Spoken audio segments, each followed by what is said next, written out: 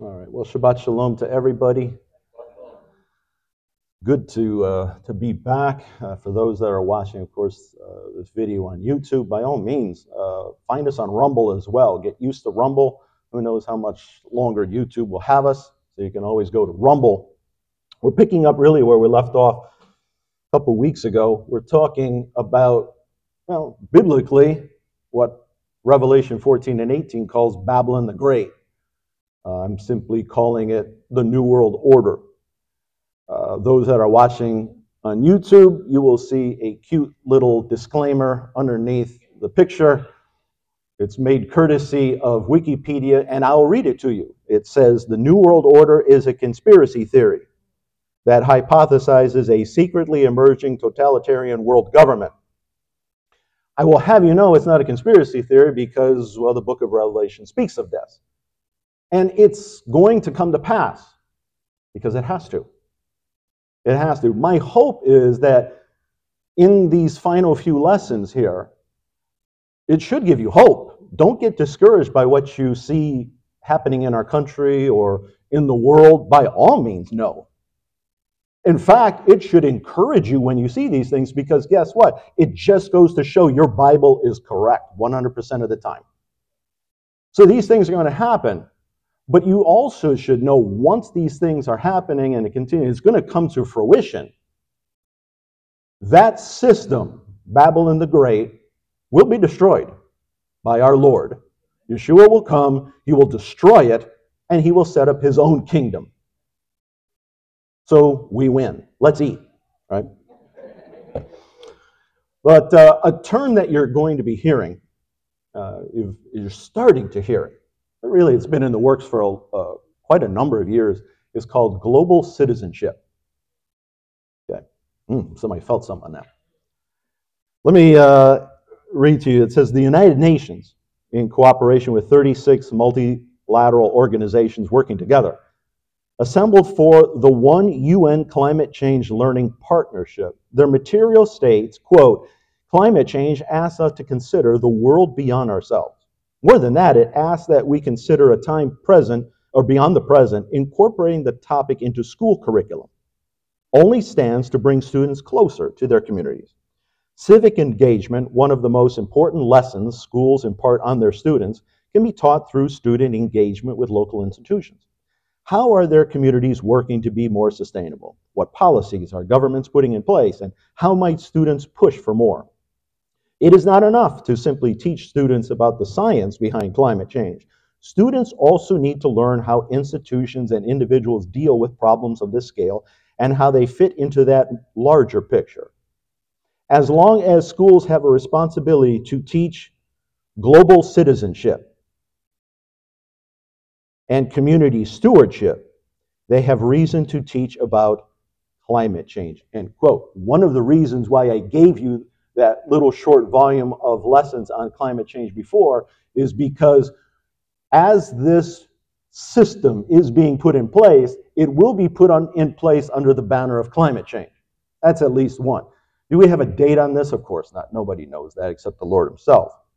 But notice you're going to hear more about global citizenship, global citizenship, global citizenry, not national citizenship. Because if you're going to have national citizenship, then you're probably going to have a national government. If you're going to have a national government, you would have to have a national leader. No, we need global citizenship. So, what's the goal? A one world government, which is not a conspiracy theory. A one world government, which would have a one world leader. Right, Nimrod? Let us make for ourselves a name. Otherwise, we will be scattered across all over the world. Daniel 9, verse 27, speaks of this leader. Refer to him as the Antichrist. That's what most people know, anti Messiah. In verse 27 of Daniel 9, it says, And he will make a firm covenant with the many for one week, for seven years. But in the middle of the week, three and a half years in, he will put a stop to sacrifice and grain offering, and on the wing of abominations will come one who makes desolate even until a complete destruction. One that is decreed is poured out on the one who makes desolate. So, yes, this one world leader is going to emerge and will make a covenant with Israel. Of course, the covenant won't be worth the paper it's printed on, but Israel will believe and be duped into thinking that they have peace when there is no peace. Andrew Thornebrooke, writing, writing for the Federalist, this was back in December of 2021, because really we want to find out is this a conspiracy theory? He writes in a 2018 speech Chinese President Xi said the CCP, Chinese Communist Party, must, quote, lead the reform of the global governance system. In another speech in 2021, he said, quote, a more just and equitable international order must be heeded and led by China. I thought it was a conspiracy theory.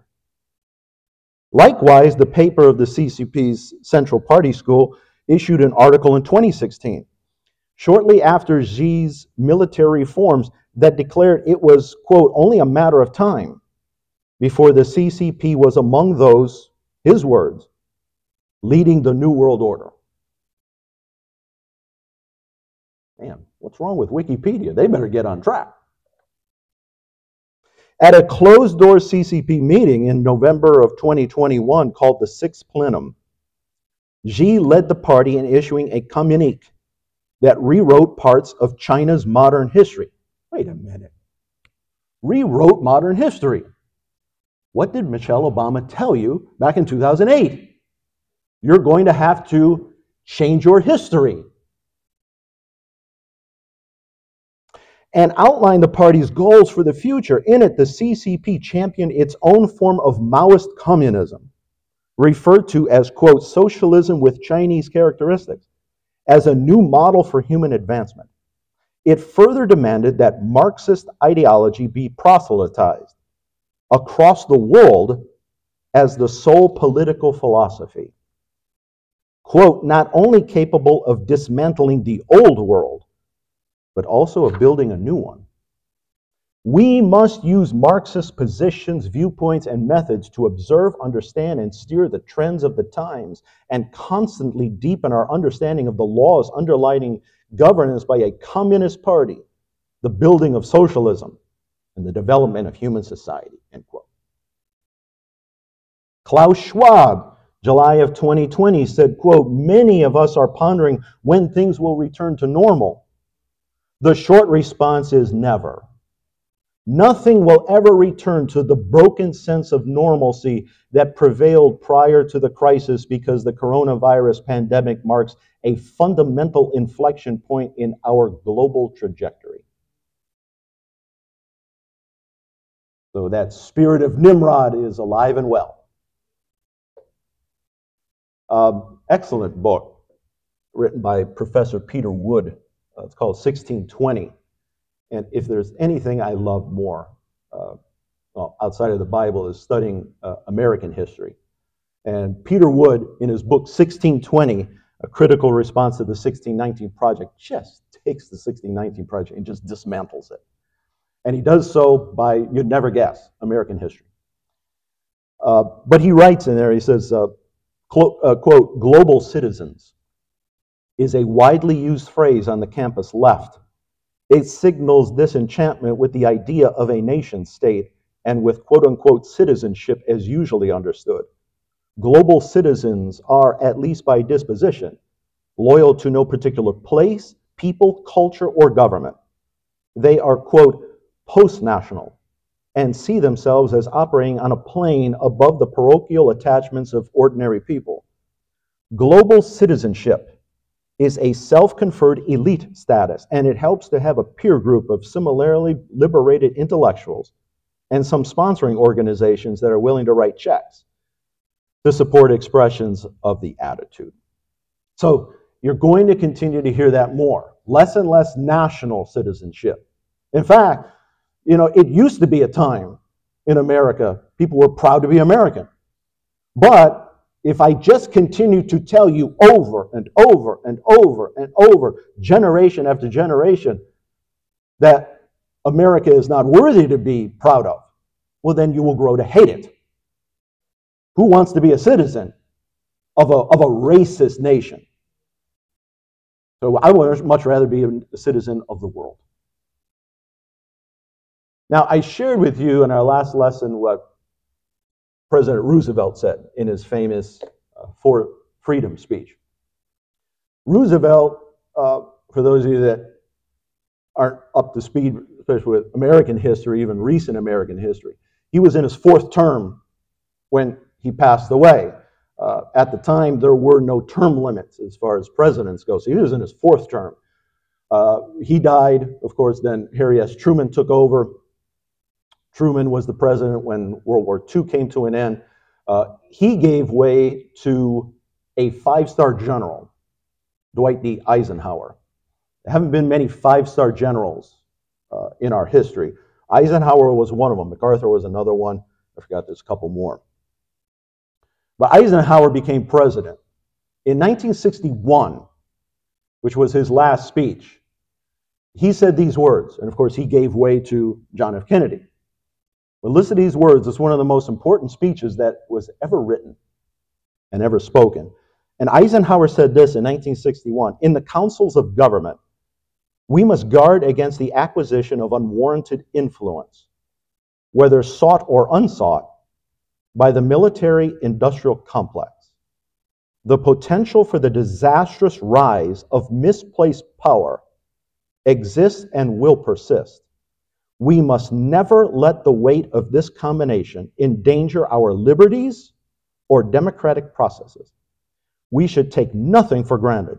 Only an alert and knowledgeable citizenry can compel the proper meshing of the huge industrial and military machinery of defense with our peaceful methods and goals so that security and liberty may prosper together. End quote. That came from a five star general who is telling you do not give that kind of power to the military or any government.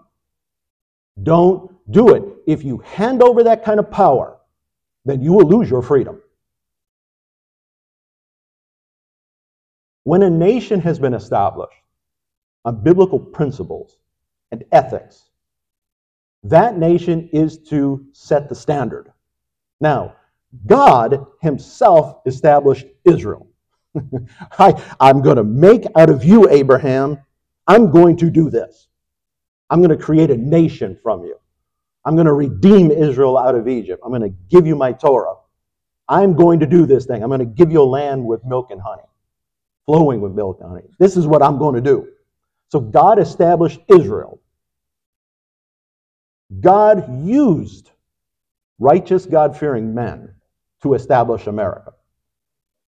God established Israel himself. He used men to establish America. And they understood do not give power to the government, keep the power with the people. And as in addition to that, they're very clear. This is a moral country that we are putting together here. It's a moral country by moral people, and it can only be maintained by moral people.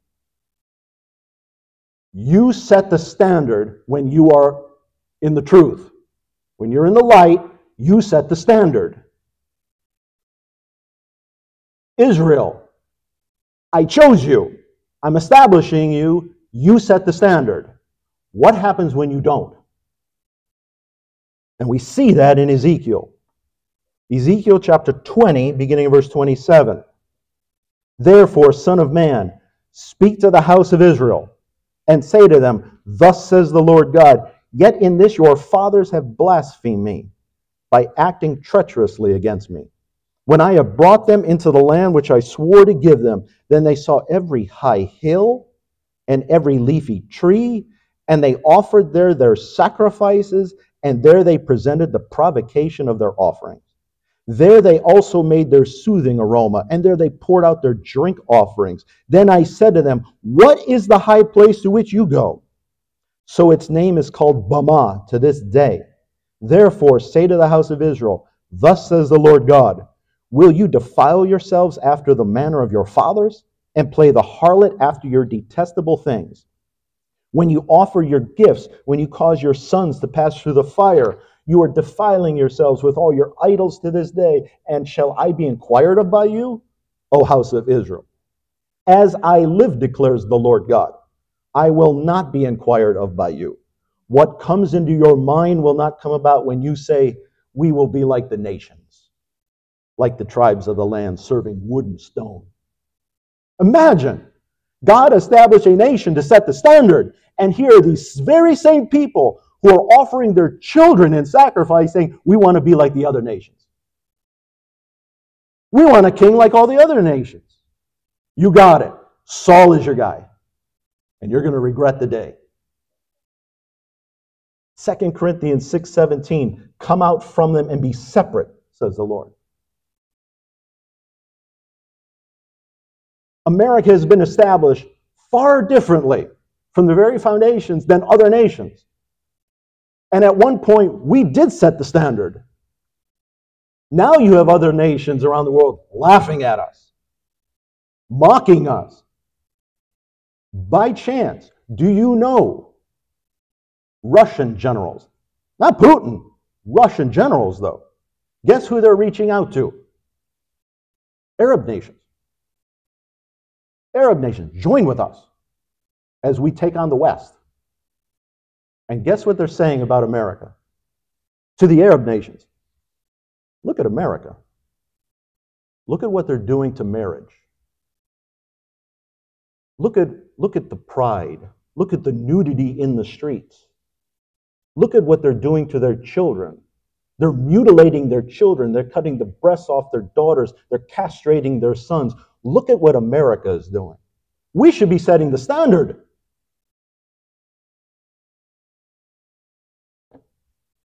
The globalists have come up with even a new school pledge. It used to be, I pledge allegiance to the flag of the United States of America and to the Republic. Remember, America is not a democracy. America is a constitutional republic. Our voting system is democratic and to the republic for which it stands, one nation under God, indivisible, with liberty and justice for all. Ah, they change it. You ready? I pledge allegiance to the world, to care for earth, sea, and air, to honor every living thing with peace and justice everywhere.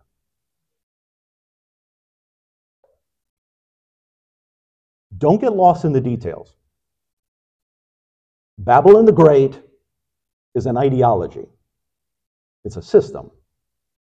It has numerous tentacles. Don't get lost in the details. The details, and there are many of them, and many more to come. I mean, you got vaccine passports and vaccine mandates and microchips and 5G towers and 15 minute cities. You've got all the details.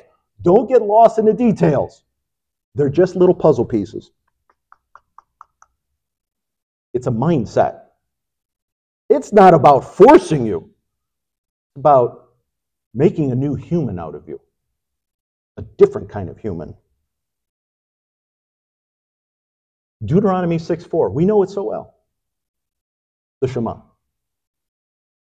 Hear, O Israel, the Lord is our God, the Lord is one, and you shall love the Lord your God with all your heart, with all your soul, and with all your might. And have these words which I command you this day be upon your heart you shall teach them diligently to your children, and you should speak of them when you sit in your house, when you walk by the way, when you retire, and when you arise. And then what? And you shall bind them for a sign upon your hand, and let them be frontlets between your eyes, and write them on the doorposts of your house and upon your gates. What does that mean? Your hand, everything you do, everything you do, whatever you put your hands to, should be about me. Everything you think, your mindset, your passions, everything, your heart has to do with me. Satan comes along and says, Oh, no, no, no, no, no, no. We're going to change all that. Everything you do, everything you think, you're going to be worshiping me. And those tentacles spread, spread out into across many spectrums. Many spectrums. it's how you think. It is about taking God, who is creator, rejecting him, and I will worship the adversary.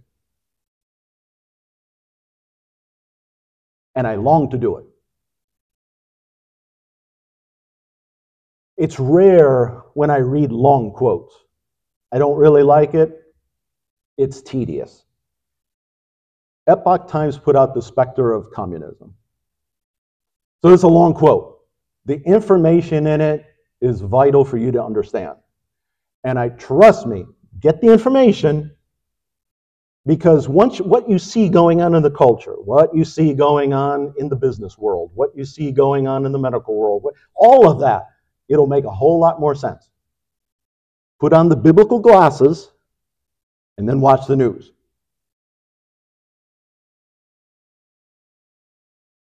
Beginning with the Renaissance, human history entered a period of dramatic change. In the late 18th century, the Industrial Revolution greatly increased productivity, which spurred social upheaval as well as profound shifts in philosophy and spirituality. As technology advanced, materialist and atheistic ideas became prominent. Increasing numbers of people rejected traditional morality and belief in the divine. Against this historical backdrop, the specter of communism. And I've said that is a spirit, it is a spirit of Antichrist. The specter of communism has turned globalization into a powerful tool for its goal of separating people from their traditional cultures and faiths. While globalization provides opportunities for international cooperation and understanding, the breakdown of boundaries between nations and economies allows the specter to combine the worst aspects of both the communist and non communist systems, pursuing broad political and cultural operations to further its agenda around the world. The globalized economic and financial system facilitates this process, making it even harder for individual communities and nations to resist the communist specter's onslaught. Again, it is a system, it's a mindset, it's an ideology that goes across many spectrums government, finance, commerce, education, religion, art, travel, all of it. All of it. This book has stressed that communism is not merely a theory, but an evil specter. It is alive and in pursuing its ultimate goal to destroy humankind, it is capable of nearly any kind of mutation that helps it sustain and expand itself. Since the 1990s, globalization ostensibly has been about furthering democracy, the market economy, and free trade, and has therefore met with opposition from a number of left wing groups and figures. But these individuals don't realize that it is actually the communist specter operating on another plane. Communism's aim isn't to use globalization to create a better world, but to take over the world by imposing an ideology of globalist control on all the world's nations. Globalism has made astounding progress on a variety of fronts, particularly in the economic, political, and cultural spheres. As an ideological force, globalism has many faces and manifests in diverse, even superficially contradictory forms often eliciting nebulous feelings of a world free from war, poverty, discrimination, or exploitation. But in practice, the methods proposed to achieve these things are essentially similar to the utopian lies of communist revolution. Though each nation has its own culture and history, their diverse traditions contain universal moral values common to all humankind. Let me interject. That's what's beautiful, beautiful about our faith. We all, there's different colors, there's different sizes, there's different languages, there's different, right? Different foods, different tastes, all these things. Yet there is one common amongst everybody in this room Him. That's our Father. And so bring your culture and bring your language and bring, and bring your foods and bring the colors. One Father, one Spirit, one truth national sovereignty, and cultural traditions of each ethnic group play an important role in national heritage and self determination and offer collective pr- protection in the face of various threats from natural disasters to military invasions.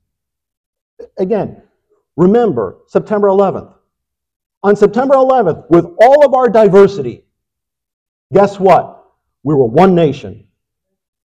We were suddenly, it took 3,000 dead people for us to look at one another and say, you know what? We're Americans. Those days are gone.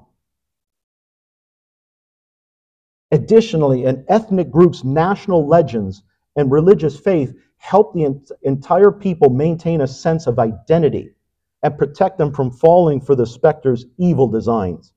While globalists often claim to stand for the cultures of all ethnicities, in recent years it has become increasingly apparent that this ideology actually serves to strengthen leftist causes.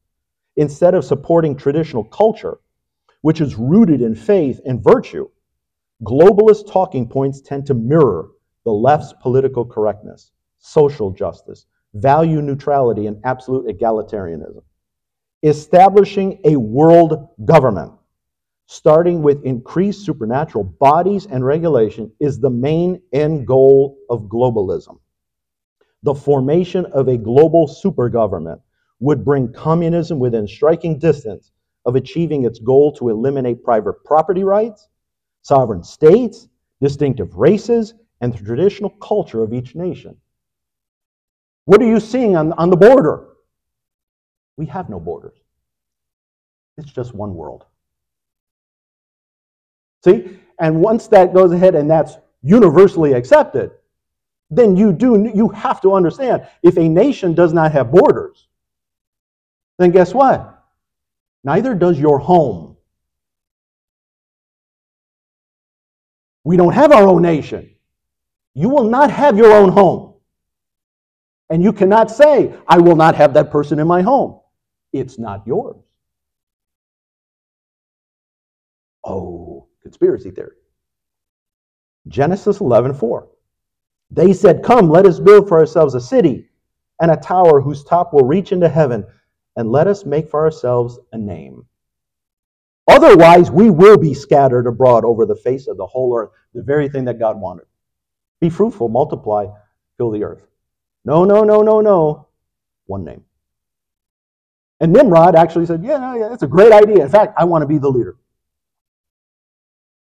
Karl Marx did not mention the concept of globalism in his writings, but instead used the term world history, which has similar connotations. In the Communist Manifesto, Marx and co author Friedrich Engels claimed that the global expansion of capitalism would inevitably produce a huge proletariat, working class, in the industrialized nations, and that a proletarian revolution would soon sweep the globe, overthrowing capitalism and achieving the paradise of communism. Marx and Engels also wrote, quote, the proletariat can thus only exist world historically, just as communism, its activity, can only have a world historical existence, end quote. That is to say, the realization of communism depends on the proletariat taking joint action around the world. The communist revolution must be a global movement. Later, Vladimir Lenin modified Marx's doctrine and proposed that the world revolution could be initiated in Russia, despite the predominantly rural character of its society at the time. In 1919, the Soviet communists established the Communist International in Moscow, with branches spread throughout more than 60 countries. Lenin said that the goal of the Communist International was to establish a world Soviet republic. Joseph Stalin, the Soviet leader who succeeded Lenin, was known for the temporary policy of, quote, socialism in one country, but proposed several goals of the communist global revolution in his book, Marxism and the National Question. American thinker G. Edward Griffin summarized Stalin's points as follows, quote, confuse, disorganize, and destroy the forces of capitalism around the world. Bring all nations together into a single world system of economy. Stalin was saying that.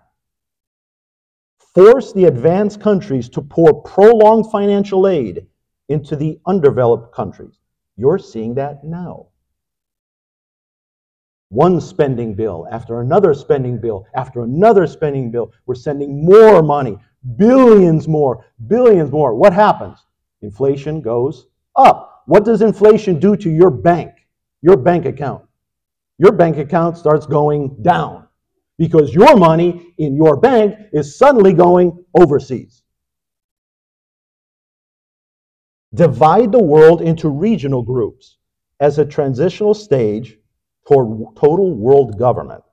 Populations will more readily abandon their national loyalties to a vague regional loyalty than they will for a world authority. Later, the regionals, such as NATO, the Southeast Asia Treaty Organization, the Organization of American States, can be brought all the way into a single world dictatorship of the proletariat. Let me interject. So let's take, for instance, you had, you know, the teachers in the classroom are just going to pull their hair out when I say, imagine a classroom of 105 year olds. Yeah, I know, everybody's thinking, oh my God. All right, 105 year olds. How are you going to control them all? But if I divide them into groups, like five groups of 20, and I put a teacher in each class, will you be able to control them easier? Of course. Do you remember? Look, it's, it's amazing when you look back at history. You had, you know, out of the 80s, then you had, of course, George Herbert Walker Bush, then eight years of Clinton, then eight years of Obama. And then the big mouth came, right? Whatever you want to say about him, arrogant, nasty, can't control his tongue, brilliant business mind. And what did he tell you? He said, NATO needs to be dismantled. Why do we have NATO anymore? And the liberals lost it. Why? We're trying to consolidate everything. We're trying to build a one world government here. You want to break it apart? Let us make ourselves a name. One name, one government, one leader. William Z. Foster, the former national chairman of the Communist Party USA. Yes, yes, there is a Communist Party in the United States and they are very well funded. Oh, in fact, if you go and you look and you see some of the uh, politicians that they give money to, Communist Party giving politicians money. It's a rather interesting list. I'll let you do that. But this is what he wrote. This was a few decades ago. Listen, quote, a communist world will be a unified, organized world. The economic system will be one great organization based upon the principle of planning now dawning in the USSR. The American Soviet government Rewind. The American Soviet government will be an important section in this world government. From the actions of Marx, Lenin, Stalin, and Foster to the community of human destiny proposed by the leadership of Communist China, it may be seen that communists are not satisfied with wielding power in just a few countries. Communism, in all its forms, is bent on world domination. The proletarian world revolution failed to take place in the form Marx envisioned. What he thought were desperate and dying capitalist societies were instead prosperous and flourishing thanks to the institutions of private ownership and rule of law. Isn't that amazing? Like God's economic system actually works. Who would have thought? With the collapse of the Soviet and Eastern European Communist camp and the adoption of market principles by the Chinese Communist Party, it appeared that the free world had triumphed over communism. But the communist specter hides behind various doctrines and movements as it corrodes, infiltrates, and expands communist elements into every corner of the world. Socialism, the primary stage of communism. And if you don't believe me, ask Canada has been gaining currency internationally, piggybacking on the destabilizing aspects brought about by globalization and globalist factors. After World War II, the left wing forces in European countries continued to grow. the Socialist International, which advocated democratic socialism, included political parties from more than 100 countries. These parties were in power in various countries and spread across most of Europe, driving policies of generous welfare, high taxation, and increased state ownership. Can anybody say France? Globalization has hollowed out U.S. industry, shrunk the middle class, caused incomes to stagnate, polarized the rich and the poor, and driven rifts in society. This has greatly aided the growth in popularity of the left and socialism in the United States and shifted the global political spectrum sharply left in the last decade or so. Left wing forces foster anti globalization sentiment, pinning the blame for the world's ills on capitalism and advocating socialist policies. After the Cold War, anti traditional trends infiltrated the development of economic globalization with the goal of undermining the sovereignty of each country's economic foundations. Human greed once contained and managed within communities, was internationalized and thus became a powerful global force. In the last decades, Western financial powers shifted wealth accumulated by society over several hundred years to quickly build up the economy of mainland China following the CCP's market reforms. The CCP used these investments to prop up its regime while binding foreign businesses and leaders to its corrupt system as the head of the communist forces in the world today. The CCP aims to build up a socialist economic superpower while fortifying left wing and communist parties around the world. Its totalitarian system upended the rules of normal trade, and it intends to use the enrichment and gain from democratic free markets to co opt and subvert them from within. The CCP's economic strength has also spurred on its political and military ambitions as it attempts to export its authoritarian communist model throughout the world. Looking at the CCP's globalized strategy from the perspective of Marx, Lenin, and Stalin, today's world has many of the conditions necessary for communist revolution. By the way, does anybody know who has the largest navy in the world now? China. Not the United States anymore. Because our own politicians have been cutting and cutting and cutting and cutting. And while we're cutting, China is increasing, increasing, increasing. As cultural exchanges and capital flows expand throughout the world, the various deviant cultural forms that communism has established over the past century, such as modern art, literature, and thought, deviant entertainment and lifestyles, and consumerism are transmitted globally. During this process, the traditions of various ethnic groups are interrupted and severed from their original meaning, resulting in hollow, degenerate lifestyles geared towards consumption and profit, breaking down morality and society wherever they are spread. Wilhelm Münzenberg, the German communist activist and one of the founders of the Frankfurt School. Remember, that was the school when it disbanded, many of those professors came west and settled in Columbia and it's been a hotbed for Marxism since. He said these words, quote, "We must organize the intellectuals and use them to make Western civilization stink."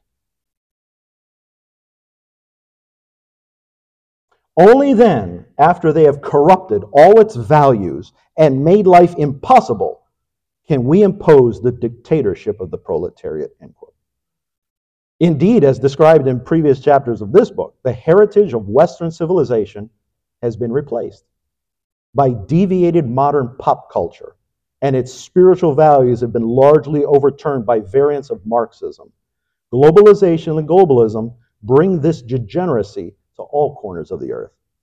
Globally, the United States leads in the political, economic, and military arenas. Its unique position in these fields carries over to American popular culture which has been readily accepted and adopted by other countries and regions.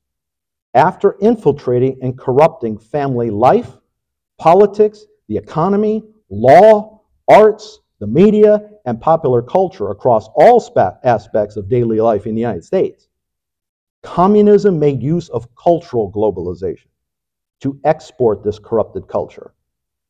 So you go ahead, you inject America with trash We're going to make it stink. From their music to their fashions to their dress to television to movies, we're going to make the whole thing stink. And then we're going to spread it out through the world.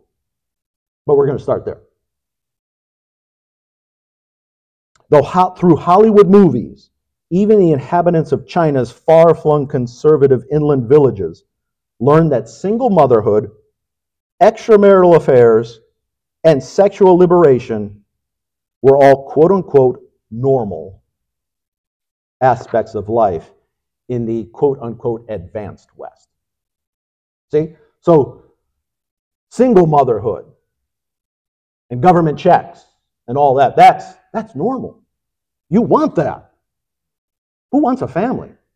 Who wants a husband? Who wants a wife? Who wants that? Who wants what the Bible has for you?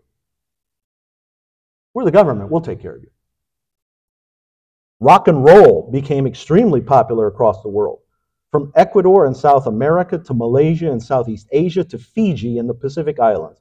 In education, the ideology underpinning the Common Core curriculum created by cultural Marxists was almost instantaneously reflected in Taiwan's secondary school textbooks.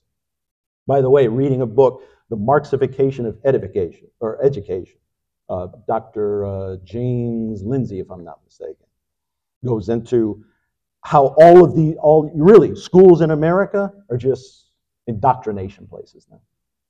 They're not teaching actually, yeah, they'll throw in some ABCs and one, two, threes every now and then.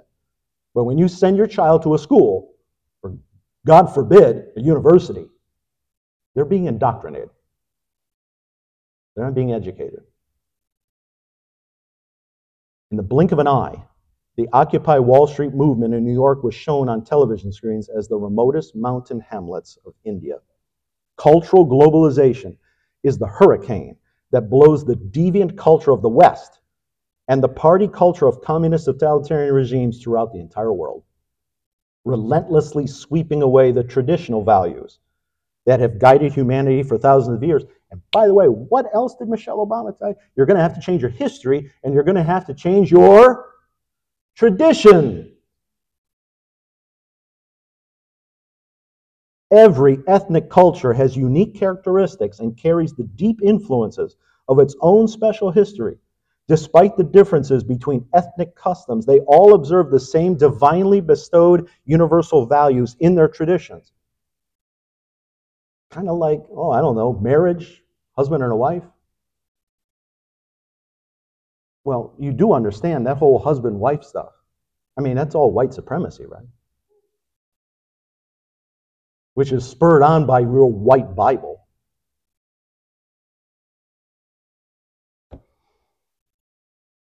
After the Industrial Revolution, technological development brought about convenience and simultaneously tradition was labeled by progressives as backward. You people getting married? Why? Just live together. What's wrong with that? Who wants to get married? What a what a hurdle. Don't you want freedom? I mean, it'd be great, right? You can have as much sex as you want with no entanglements and no commitment. Measuring everything based on its modernness, novelty, and progress, or whether it has commercial value, is now standard. Communism promotes values that seem noble, but in reality are aimed at having humankind abandon traditional values, replacing them with homogenous and deteriorated modern values instead. Today's so called common values formed by cultural exchange in the process of globalization aren't from any particular tradition. They are modern values. The elements and values that are adopted by globalism must, by necessity, deviate from tradition they include only the crassest elements of existing cultural heritage, as well as the aspects that can be commercialized. Notions about the common destiny of humankind and our common future are the results of such deviated values. The lowest standard that is recognized during cultural globalization manifests in consumer culture. Product design and marketing driven by economic interests are entirely centered on appealing to consumers' base instincts.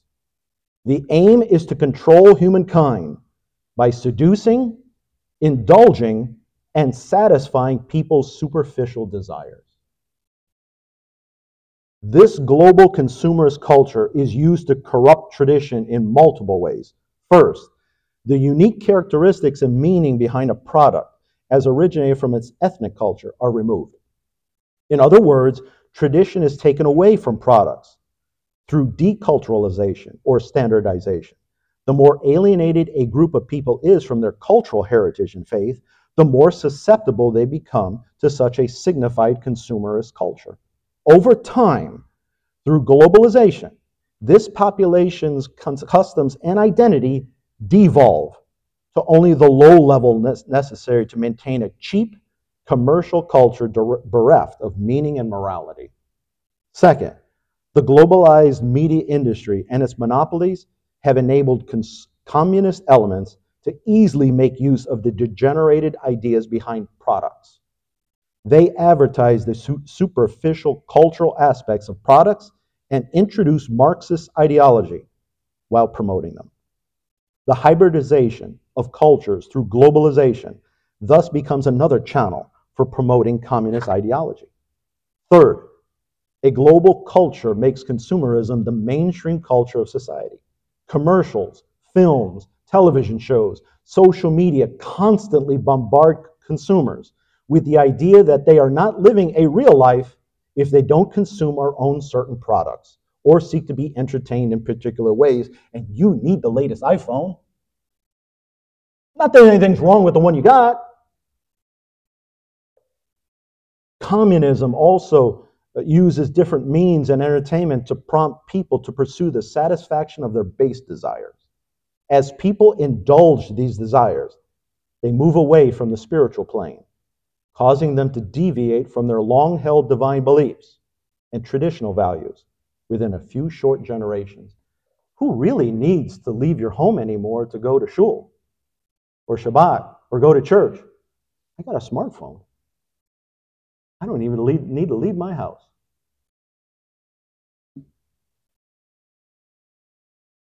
Communism quickly spreads its deteriorated ideology amid the backdrop of globalization, it utilizes the herd mentality. With frequent exposure to news media, social media, commercials, television shows, and films, people are bombarded with various anti traditional ideas and narratives. This creates an illusion that such deteriorated trends represent a global consensus. People gradually become numb to the damage wrought by these ideologies as twisted behaviors come to be seen as fashionable and people are urged to take pride in them. Substance abuse, sexual liberation, degenerate music, abstract art, and much more are all spread in this fashion. You ever get a group of teenagers together anymore? Have you ever seen a group of teenagers? Young people? No emotion. Faceless. All they see is the phone. And whatever the phone is, whatever the phone is showing them, well, that's the way the world is.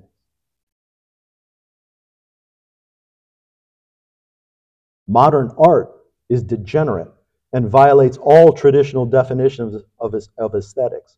Some people may have known this from the very start, but after modern artworks are constantly exhibited in major metropolitan areas and sold at high prices, and when the media frequently reports on dark and strange works, normal people begin to believe that they're the ones who've fallen out of touch with fashion. And it's their, you, their taste in art that needs to be updated. What's wrong with you people? You don't know that Christ on a cross in a jar of urine? That's cool. And if you don't, you got a problem with that. You got the problem. Gaslighted by this trend, people learn to deny their innate sense of what constitutes beauty and accept the hideous aesthetics of deteriorated art. All manner of degenerate culture, masked as Western culture, is currently being spread to every corner of the world. Hollywood, in particular, has been a major carrier of various narratives that stem from cultural Marxism. The special characteristics of the movie industry allow it to make people subconsciously accept its values. Film has the power to depict compelling atmospheres, narratives, and personalities, immersing audiences in the director's viewpoint. Hollywood movies play an enormous role in shaping audiences' values and worldview. In this book, we have also discussed how cultural Marxism has taken over Western education and in turn exposed foreign students studying in Western countries to various leftist ideologies. When they return to their countries, they spread these ideologies, which are seen as attractive because Western countries are more technologically advanced and economically developed. And a number of these countries are starting to catch on. You want to send your 20 year old to college in America? They'll bring that trash back. Thus, invasive modern trends encounter little resistance as they spread and destroy the local traditional culture. These modern globalist values have also become ubiquitous and mainstream via the corporate culture of multinational corporations. Their promotion of sexual liber- liberation has seriously corroded the moral values of traditional society. You think Target cares about you getting upset about their pride display? No. I want you to imagine this. I go ahead, right, I keep biblical kosher, but for argument's sake, I take five boxes from a pizza shop of the, the meat lover's pizza. I mean, you got nasty pork pepperoni on there and nasty pork everything. But I'm going to take all five of them and I'm going to take them to a vegetarian conference. Now, do you know what's going to happen when I walk in there into a vegetarian conference with five boxes of meat lovers pizza? They're going to hate me. I'll get shooed out the door, they'll throw rocks at me, they'll spit at me, and everything. But if the following week I come back with five boxes of meat lovers pizza, into that same vegetarian conference a week later, they won't be that mean to me. They still won't eat it, right? They'll ignore it, whatever. I'll get a few comments. And then over time, I come back the next week with five boxes of meat lovers pizza into that vegetarian conference. And you know what's going to happen over time? Not only will they not object, they'll start eating it.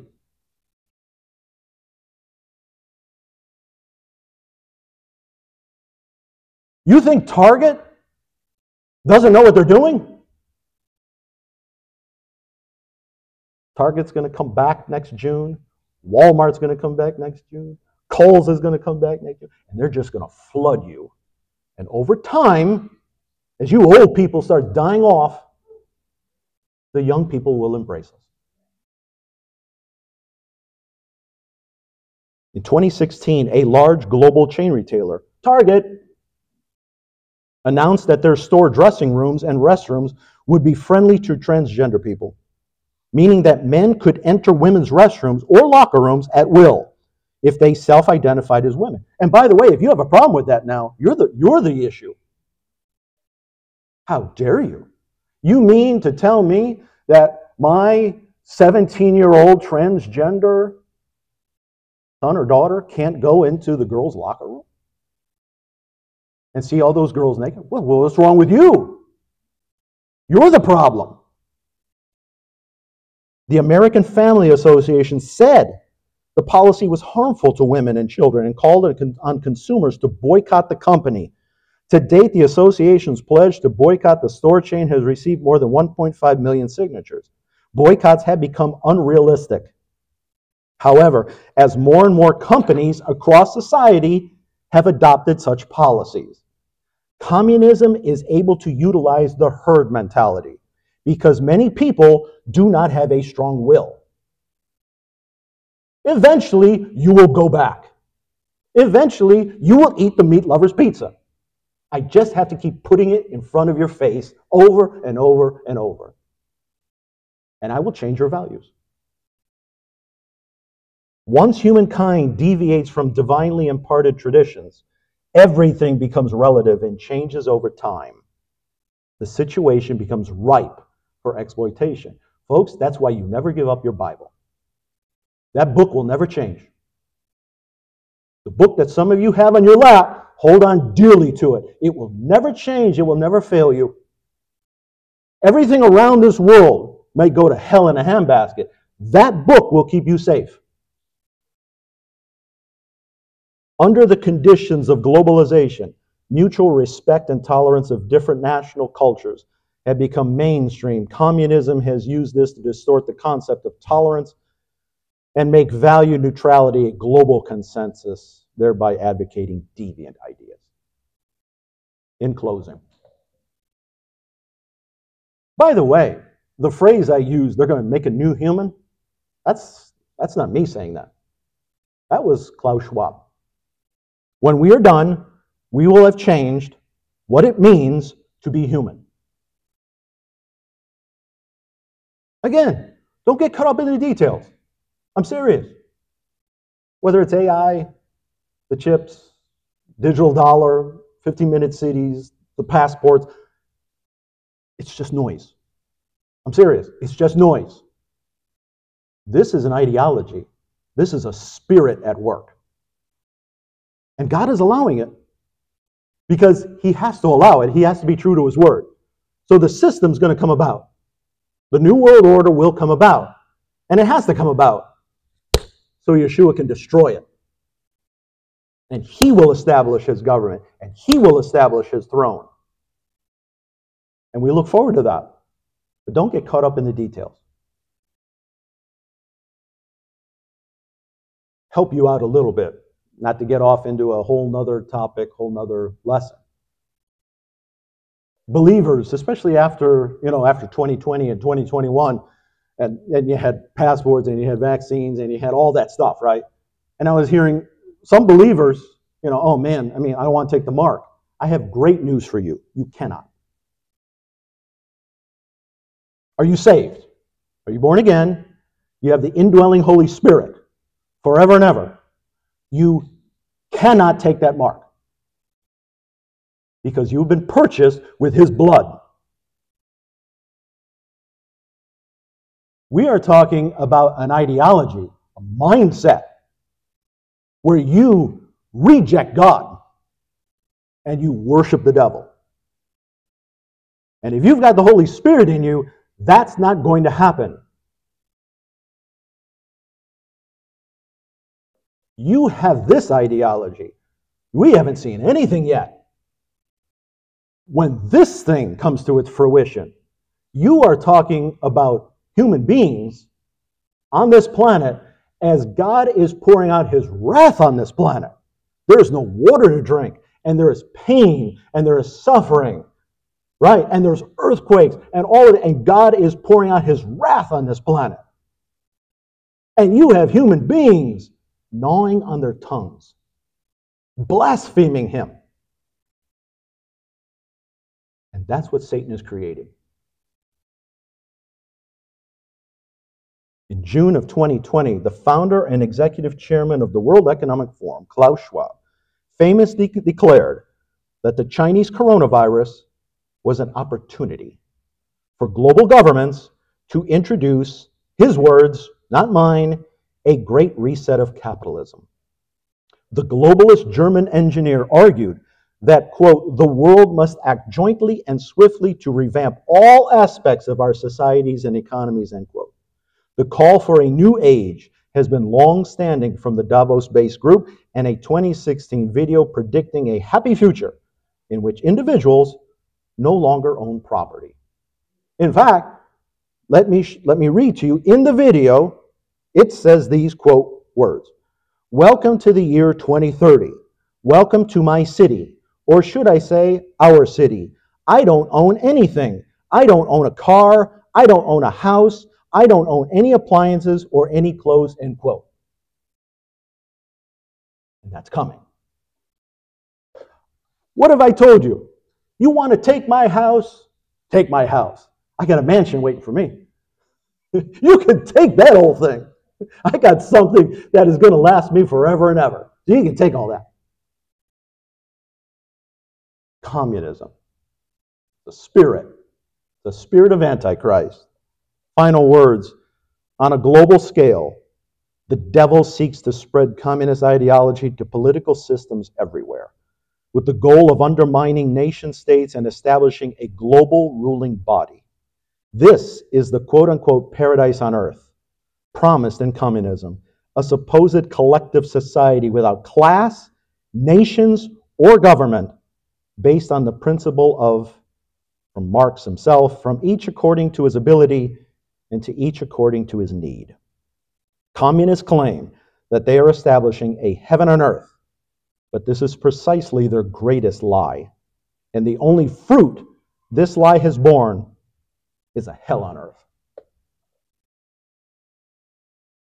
Take a look around the world, whether it's Cuba, whether it's North Korea, whether, just take a look. Beautiful countries.